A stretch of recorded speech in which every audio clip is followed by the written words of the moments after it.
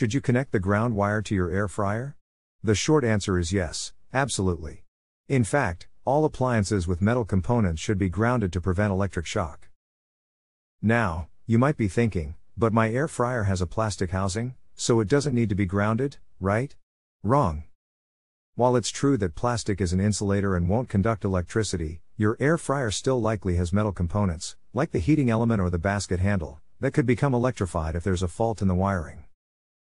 A ground wire provides a direct path for electrical current to flow to the ground, rather than through your body. This is crucial in appliances that have metal components, as the metal can become electrified if there's a fault in the wiring. If you were to touch the electrified metal while also grounded, the electrical current could flow through your body, potentially causing injury or even death. But why do faults in wiring happen in the first place? There are several potential causes.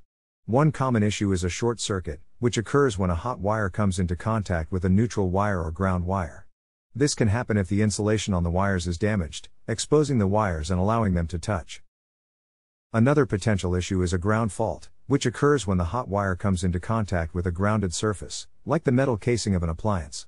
This can happen if the insulation on the hot wire is damaged, causing it to touch the ground surface.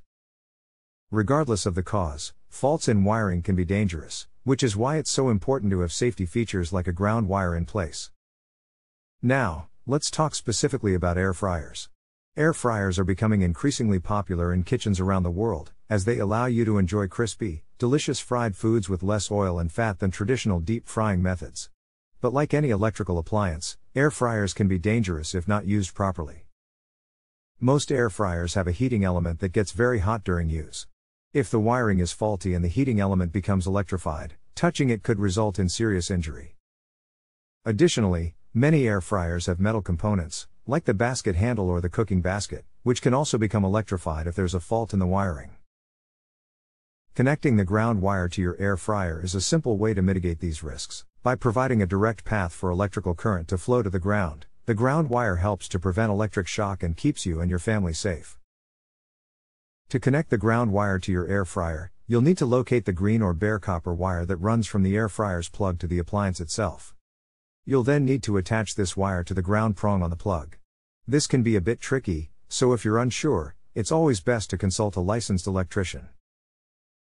In summary, connecting the ground wire to your air fryer is a simple but essential step in ensuring electrical safety in your home. It helps to prevent electric shock and keeps you and your family safe, especially in appliances with metal components like air fryers. Always prioritize electrical safety in your home and consult a professional if you're unsure about any electrical work. Thanks for tuning into Electricity Frenzy, and we'll see you next time.